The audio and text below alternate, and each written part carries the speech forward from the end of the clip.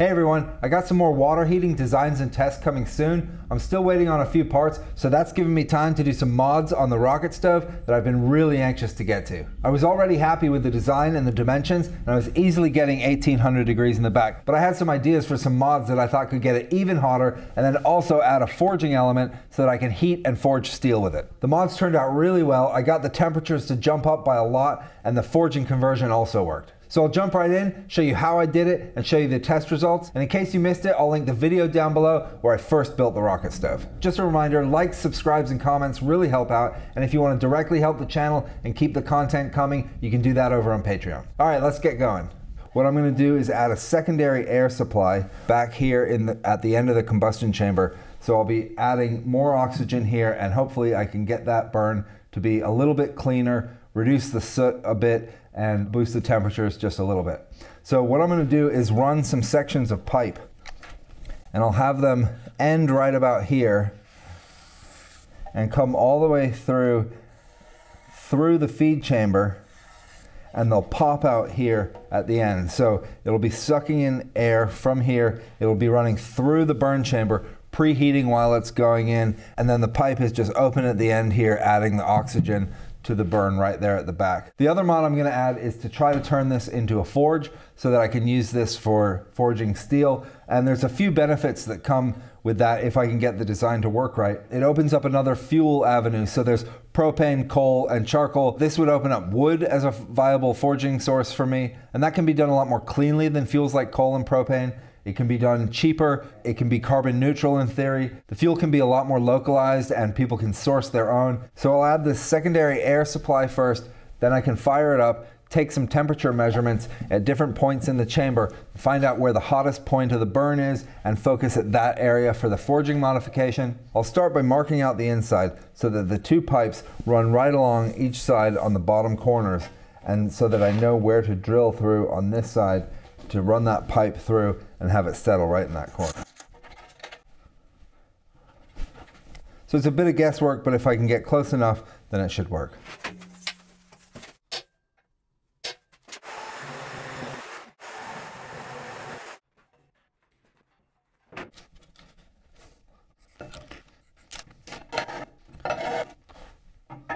Okay, so these fit in well. They're a good size. They're not taking up much of the primary airflow space and I've left about two inches extending out. That way I could either add caps or a butterfly valve to further control the air. For now I'm just gonna run them open and see how it works. So I'll get these welded in and fire it up.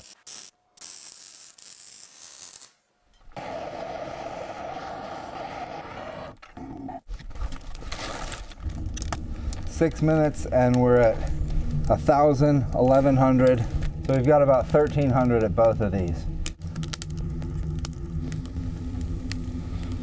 Nine minutes in, we're at 1800 here. So once it's come up to temp, we're definitely getting additional heat with the additional oxygen supply. Yeah, we're about 400 degrees Fahrenheit higher here than here.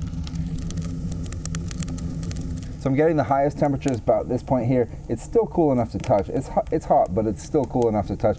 I'm getting about 1800 degrees in here, 1700 degrees in here, and I can get 1700 there too. So I think I'll go ahead and add the forging element here. One thing I'll mention is that basically feeding it with the kindling type wood, the temperatures do tend to vary quite a bit. So I think something like a pellet hopper would actually add to the stability of the system. So I might go ahead and build an add-on here that's just a pellet hopper and see if I can get more stable temperatures. But I'll go ahead and add the forging mod here now. Um, so I'm just gonna let the system cool down then I'll be able to get it back in the shop and show you how I do that. The first thing I'll do is measure this hole from the bottom and the back so that I can put a matching hole on this side that is right in line with each other and passes through to both sides. Then I'll drill the hole on the back side and I'll pull off these legs. Next I'll pull the outer skin and the insulation off the top half of the riser so that I can get at the actual rocket stove underneath and I'm going to drill a hole roughly similar to the inner diameter of the pipe I'll be using, both through the outer skin and the actual rocket stove.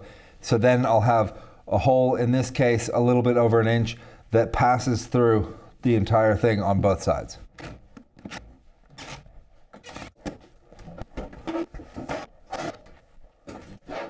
First I'll use the mag drill to drill the holes in the rocket stove.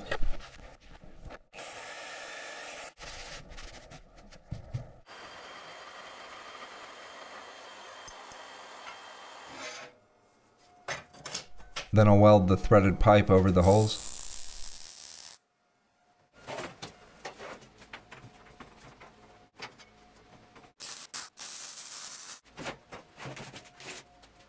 Now I'll trace out matching holes on the outer shell.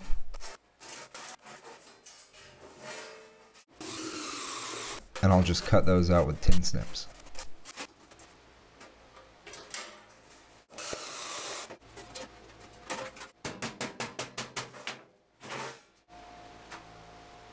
Here I'll cut the insulation to go around the pipes.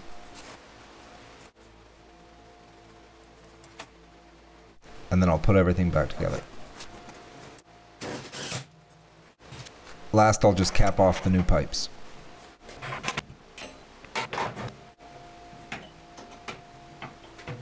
While I still have this in the shop, I'm gonna add one more mod to try to get a little bit more heat out of it. So I'm gonna add an air supply here in the front. The idea being that I'm increasing the amount of air flowing through the system and thereby getting a hotter fire. A lot of the capacity for air to flow through the system is going to be obstructed by the fuel here. And I'm hoping that by adding an air passage in the front, I might be able to boost that. It'll also probably change the flow dynamics. So instead of the air coming in from the top and swooping in here, which keeps the fire mostly at the front here, I'm hoping that I can build the fire further back and get a larger fire in the burn chamber. I'd also be able to cap this off and restrict the flow coming in from the top and play with that and see how it changes the temperatures. I'm basically just gonna cut a hole in the front and weld this little piece of channel on. So this channel will help keep the fuel inside the feed chamber and I can also add some sort of valve here on the front if I want to restrict this down the line. So I'll get this added on, do another test fire to check the temperatures, and when it's really up to heat, I'll see what happens when I try to forge with it.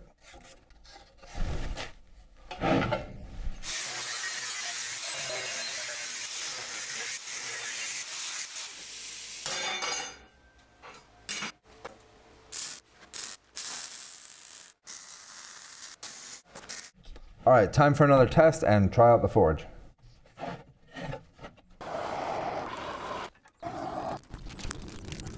About 30 seconds in, we're already about 1200 degrees right here and 1000 degrees right here. Okay, we're hovering around 1950. So I'm gonna go for the forge.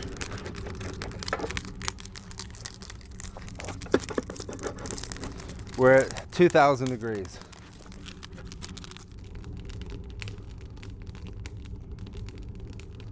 It just hit 2100 degrees. We're really cooking.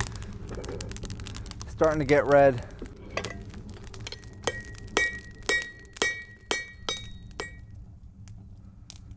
Okay, so that got nice and hot. 2100 degrees here at the back. Definitely into forging temperatures. It is a greedy little thing. It's really eating the fuel up and you'd have to do a lot of fire maintenance if you were actually forging. A pellet hopper could solve that. If you just had an automatic feed, you could set your temperature and just cruise away, but it would chew through pellets quite fast. But the test also showed that both of these mods definitely helped increase the temperatures, peaking up at about 2100 degrees. So really hot. And if you have an application that can use that much heat all at once, this thing would be a great basis for a design. Okay, so these mods worked out really well. The extra oxygen at the back definitely helped, and then just adding the air supply up here was awesome. I was easily averaging 2050 degrees in the back, up from 1800 before, and I was peaking just above 2100 degrees. So this thing was screaming hot, and these mods made a huge difference. The forging conversion does have some limitations, but it did work, and it opens up a whole new fuel source, and it would need some tweaking and experimenting to get it really dialed in. But for simple twists or tapers or punching holes, it could work really well. And I just drew a simple taper just as a proof of concept. It definitely gets the metal hot enough. And so that's something I'd like to explore more in the future. But overall, I really like this design. It's definitely the basis of something to build upon and to continue to tweak and improve. At some point, I'll build a pellet hopper add-on with an automatic feed up here. But if you have any other ideas for mods I could add to this, let me know and I'll see if I can get them done. I'll be back with the water heating series and a bunch more springtime videos coming soon. Thanks for watching. Take care.